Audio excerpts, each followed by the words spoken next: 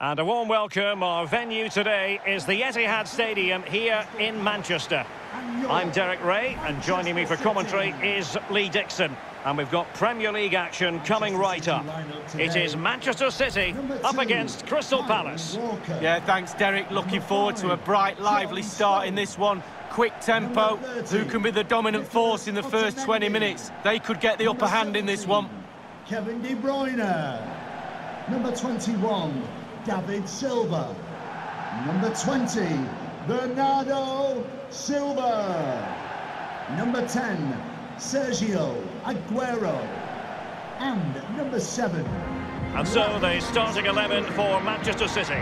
The Brazilian Ederson starts in goal.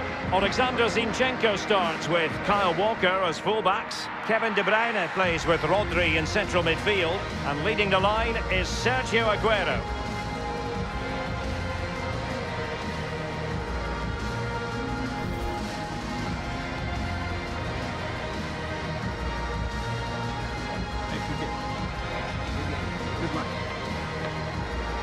Well, this is the team Crystal Palace have picked.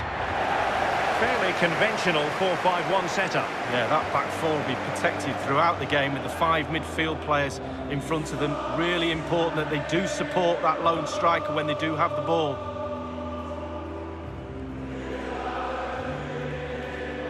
Well, you think back to last season's title race and you think back to some of the key moments. City's win over Liverpool in January, so important in the grand scheme of things, Lee. Well, it was. I remember people talking about it being a title decider on the 3rd of January. It's ridiculous. But as it happens, pivotal moment in City winning the title, you have to say, in hindsight, absolutely.